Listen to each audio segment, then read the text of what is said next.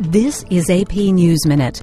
Americans marked the 11th anniversary of the September 11th terror attacks in familiar but subdued ceremonies.